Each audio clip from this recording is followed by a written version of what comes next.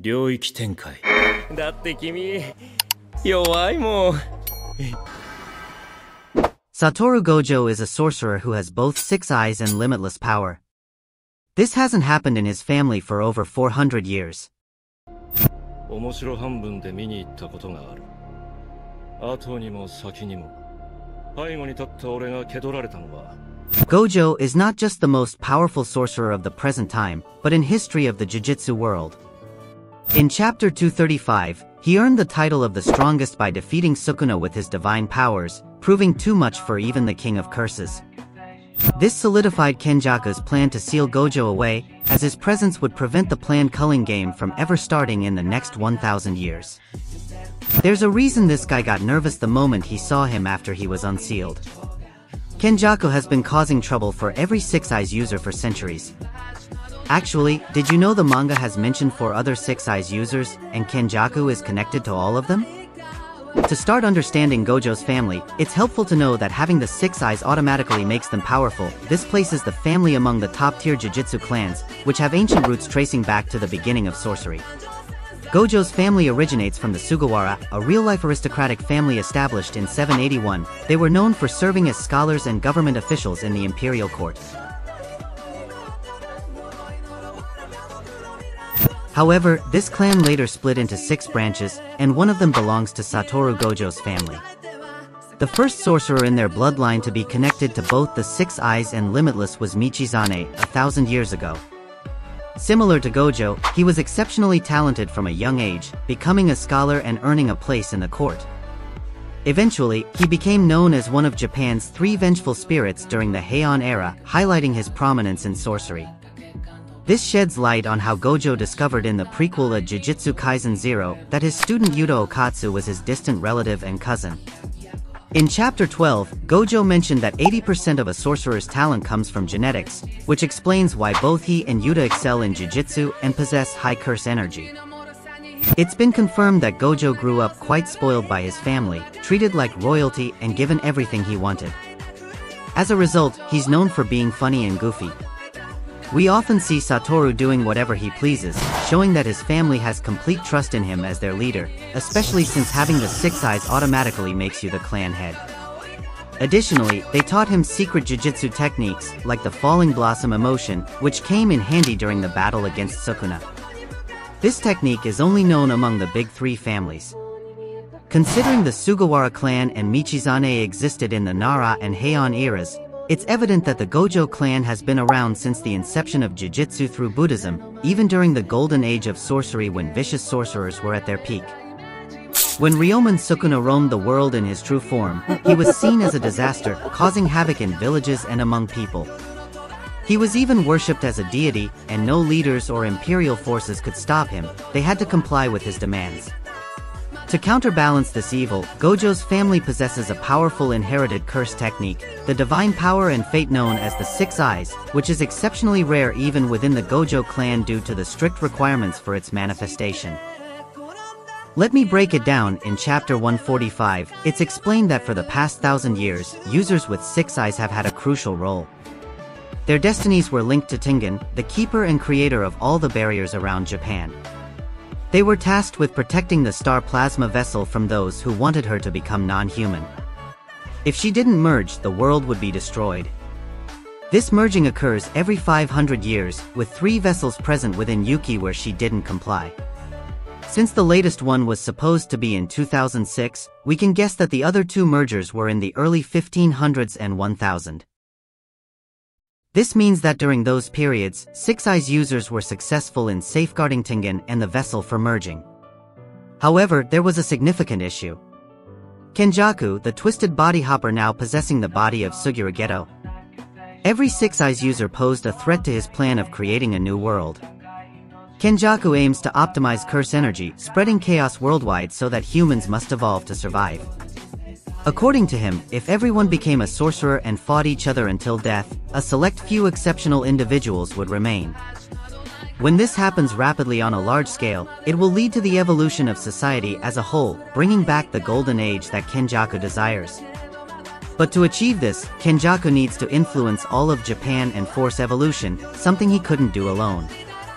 This is where Tengen comes into play, by controlling him, Kenjaku could control the barriers of the Jujutsu world and an evolved version of Tengen that could merge with humanity itself. Hence, Kenjaku embarked on a quest to acquire him, however, he kept failing repeatedly because of the Six Eyes users. To put it simply, the only person to ever challenge a Six Eyes user with limitless power was the user of the Ten Shadows technique back in the Edo period. Satoru Gojo revealed that his ancestor, who was similar to him, had a clash with the Zenin clan leader, who possessed the Ten Shadows, in front of the nobles. This conflict escalated to the point where both of them fought to the death. It's no wonder the Zenin clan still harbors resentment towards Gojo today.